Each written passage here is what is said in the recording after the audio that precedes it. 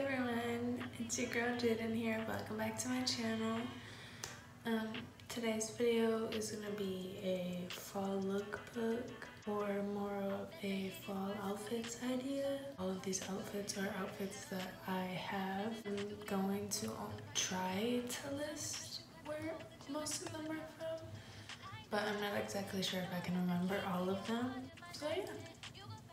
This first outfit is a dress, and Robbie actually got this for me. He got it from Kohl's, I believe. I'm not exactly sure how much he paid for it, but normally I'd wear this with just sandals, nothing with even Florida, or maybe even some long socks with some boots, because it's more of a fall vibe, yes. This next outfit's also a dress. This is just a denim dress that Robbie also got for me. Um, I believe we got this at TJ Maxx for like $15. And this is my favorite dress. It's so light. The best part about it is it has pockets, y'all. This dress actually has pockets. And I love it. And I'll just wear this with any shoes, honestly. This is my only and favorite sweater. um, I got it from TJ Maxx for $15. And these jeans are from Fashion Nova for 25 um, I love this outfit together. The fall vibes are definitely there. I'll wear this outfit with boots, regular shoes, slides, um, sandals, pretty much anything.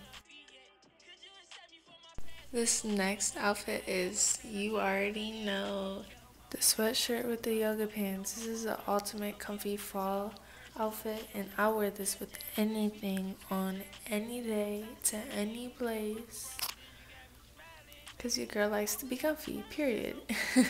this sweatshirt was like $10 from Kohl's. The yoga pants was like $10 from a, a store. I don't even remember.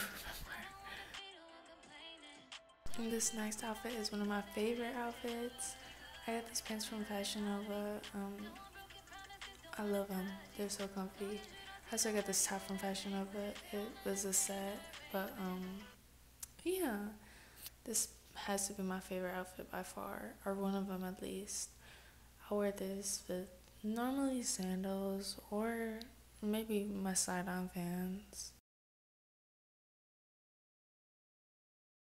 Thank you guys so much for watching. Don't forget to like and subscribe for more videos. Have a wonderful rest of your day.